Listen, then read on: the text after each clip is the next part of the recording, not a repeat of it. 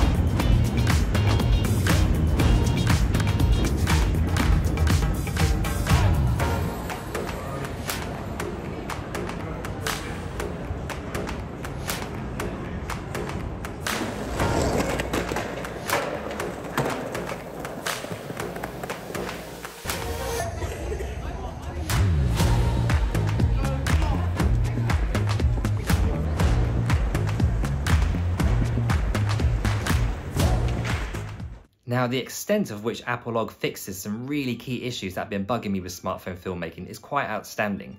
The first one being the softness. Now, with a regular H.265 codec on your phone, it's really, really sharp. And these images are side by side of my face and my body show you how sharp it is compared to Apple Log. Apple Log is absolutely beautiful to look at. It really, really is. And I have to admit, when I was filming around London, I kind of forgot that I was using a phone, such as the softness. Now you still have a small sensor on the phone, so the depth of field obviously is still different, but my God, is the softness on this looking so, so good. And when you get into the nitty gritty details of hair, for example, you can really see the difference when you zoom in, how crunchy and horrible and noisy it looks in H.265 versus the softness and the beauty of Apple Log. It really is a huge, huge upgrade in terms of softness. Now, of course, another benefit of using Apple Log is the expanded dynamic range. So basically, the more detail you get in the highlights and the shadows, it's a big, big improvement. And in these shots, particularly in the shadow areas, you can see what you save using Apple Log versus H.265. And even in dark corridors, like I show you here in my home, you can still see part of the corridor and the outline of the door frame further down the corridor, about 10 feet away having used Apple Log versus using H.265. It is a big, big difference and it gives you a lot more flexibility when it comes to editing. It is such a beautiful thing to edit with Apple Log. You can stretch your highlights, stretch your shadows, you can push things so much further and you can really transform a shot from what it would have looked like in real life to something almost completely different. It gives you a lot more flexibility and a dynamic range is absolutely superb on this and it will give you a lot more options in post-production as well.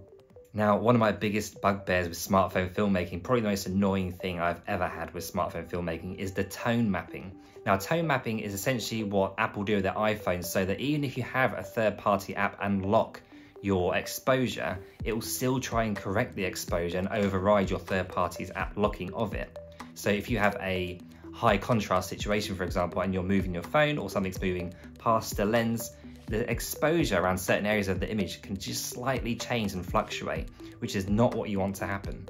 So with Apple Log, it basically completely eradicates that. It really does just stop it in its tracks, which is one of the most amazing things about Apple Log. If you want to create something that looks not so much like a smartphone shot film and has something look really professional, then getting rid of that tone mapping is one of the biggest ways you can make it look professional. So it's really a huge step up for smartphone filmmaking and a real game changer. Killing the tone mapping is a massive thumbs up from me. Now I wanted to do a test. The quality of Apple Log is obviously fantastic, but what does it look like compared to Filmic Pro's Log version 3? Are they comparative in any way? So let's take a look at the highlights, the shadows, and also the softness comparisons. Now with Log V3, it looks nice, you can see we're getting more dynamic range, but the highlights are looking a little bit blown out. When we go into the HEVC, again, it doesn't look too great. But when we look at Apple Log, the highlights are already looking much nicer. That softness in the image is already looking much nicer. And when we go into a color corrected version of Filmic Pro Log V3, it is an improvement having if you didn't use Log V3, but it isn't that great compared to Apple Log. The softness is much more improved, the highlight detail is infinitely better, and it just gives you much more of a film look, which is of course what we want in our smartphone filmmaking. It's just head and shoulders above what third party apps can do. And of course, you can see in the close up here, it becomes much more apparent. So you think on a small phone screen, it might not look that clear, but the details when you really deep dive are much, much, much more different compared to Log V3 to Apple Log. Now, I've been singing Apple Log's praises for this whole video so far, but there is probably one negative, and to be honest, it is the only negative really, is the storage that you're to need to shoot the nice ProRes colors with the Apple Log. Now you can shoot Apple Log with H.265, so you can get around it that way or shoot in ProRes proxy, but it will still take up a lot of space if you start moving up the ProRes ranks. So as you can see here on this graph, in H.265, for 10 seconds of film, you're getting 21 megabytes. For Apple ProRes 422 proxy, for 10 seconds of film, you're gonna get 133 megabytes. For 422 LT, which is what I filmed this whole video in, is 324 megabytes per 10 seconds. 422 is 549 megabytes, half a gig for 10 seconds of Apple ProRes 422.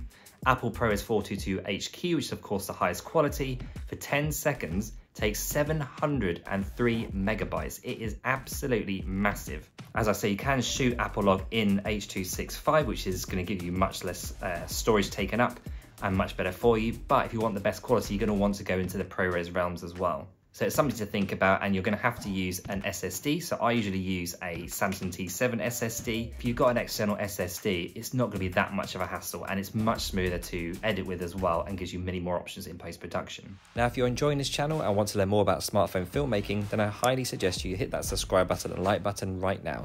It helps the channel grow and it helps you. Now, is Apple Log worth buying the iPhone 15 Pro or Pro Max for? In my personal opinion, yes it is. It is a huge, huge upgrade from my iPhone 12, which I've been filming before my YouTube channel. In fact, the video I shot all day with this and these little talking head points are with my iPhone 15 Pro and ProRes uh, 422 LT, you have to try and remember that, with Apple Log and color corrected myself in DaVinci Resolve. The softness, the dynamic range, the tone mapping that you get rid of is absolutely fantastic. I can't wait to make my next short film with this phone in Apple Log. It's going to really make everything look a lot more professional. So I think if you're looking to make professional videos out of your phone, then it is worth getting an iPhone 15 Pro or Pro Max with. But if you're not going to do color grading, you're not really looking to get into that kind of depth of color grading, it's really not worth it to be honest. But for me, it's been a well worth purchase and I cannot wait to progress with this phone and make more projects with it. If you enjoy this or want to learn more about Blackmagic camera app, which I've been filming with, do check my whole tutorial on that app right here, right now. It's a free app on iOS only, and it's pretty damn good for a first gen.